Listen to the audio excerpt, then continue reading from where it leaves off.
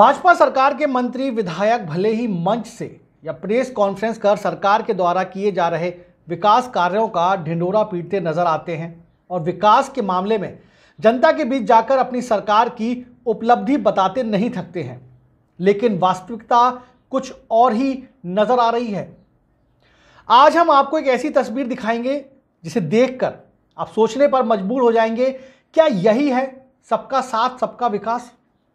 दरअसल पूरा मामला चंदोली के चकिया तहसील के मजराती गाँव का है, जहाँ आज़ादी के सात दशक बीत जाने के बाद भी गाँव की तस्वीरें जो की त्यों हैं। आज भी गाँव बिजली सड़क आवास शौचालय और शिक्षा से वंचित है। हद तो तब हो गई जब गाँव में लोगों को पीने के लिए हैंडपंप भी जनप्रतिनिधि व अधिकारियों के द्वारा नहीं लगवाए गए हैं। ऐसे में ग्रामीण नदी का पानी पीने पर विवश हैं। वहीं तस्वीर में आप साफ़ देख सकते हैं किस प्रकार ग्रामीण नदी से पानी भरकर ले जा रहे हैं।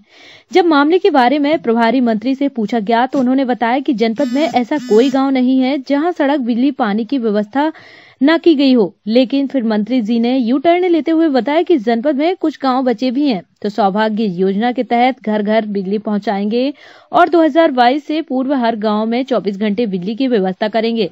अब ये देखना दिलचस्प होगा कि प्रभारी मंत्री जी के संज्ञान में मामला आने के बाद भी ग्रामीणों का भला हो पाता है या कोरा आश्वासन दे ही ग्रामीणों को संतोष करना पड़ेगा। गाँव तो नहीं बचे हैं। कुछ पूर्वे मजरे हो सकता है कि चंदौली में अगर बचे होंगे।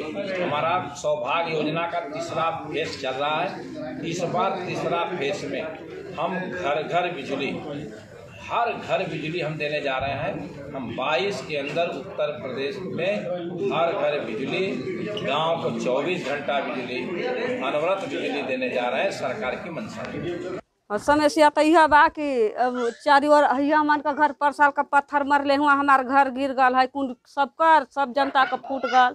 आ देखिए हमार तिरपाल बिछा बिछा है यहाँ और कह के कौनो सा, कौनो बड़ी जिला पर गई यहाँ कहूँ यहाँ कोई हमन का सुनाई नहीं होता क्या नाम है आपका? मेरा नाम सुनील कुमार बनवासी है। कहाँ के रहने वाले हैं? हम लोग मुबारक मझराती के रहने वाले सुनील जी क्या समस्या आप लोगों की है? हम लोग का यही समस्या है कि सर हम लोग का आज तक ले सरकारी सुविधा से वंचित हैं। जी जी। हम लोग के न रोड है न लाइन है न बिजली है। जी। न यहाँ बच्चन के हम लोग के आवारा लिए घूम रहे हैं यहाँ स्कूल है। अरे हमन के कर नहीं बा पानी नदी का पियत ही जा। हम्म, और क्या क्या समस्या? स्कूल भी नहीं लड़का विवन हो जात हुआ आवास की सुविधा आपको मिली है? नहीं। शौचालय? कुछ भी नहीं। आप लोग कितने साल से यहाँ पे रह रहे हैं? यहाँ से होगा चालीस साल से।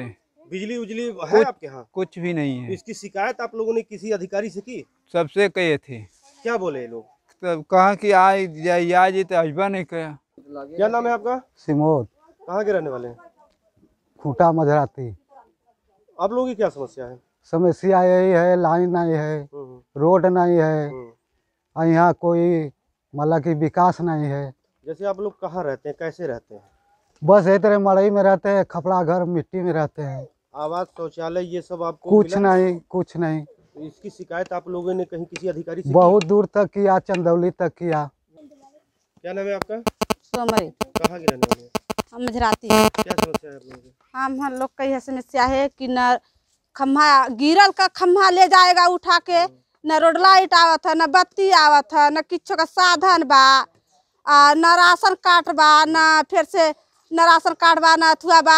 आ, जब आवास शौचालय की सुविधा है आप लोगों को? नहीं न ससुराल का न आवास का कुछ का नहीं। क्या नाम है आपका? वाला सुनील। कहाँ के रहने वाले मझराती के। आप लोगों की क्या समस्या है? समस्या है सरकार के हमन के न लाइन बा आ न तो हैंड पाइप बा आया अका न हमन के रोड बा न हमन के आवास मिलत बा। चंदौली से मिथिलेश सिंह की रिपोर्ट।